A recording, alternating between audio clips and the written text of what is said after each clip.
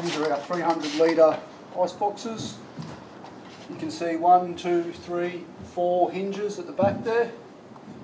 Two sets of latches, set of pair of latches, lockable here, handle at the front, rubber seal all around the outside, and on edge end here, and here. Nice chunky handles there can get it under. Four people can carry these. You'll be able to carry these full of ice if you're strong enough to lift it. That's a 300 litre ice box.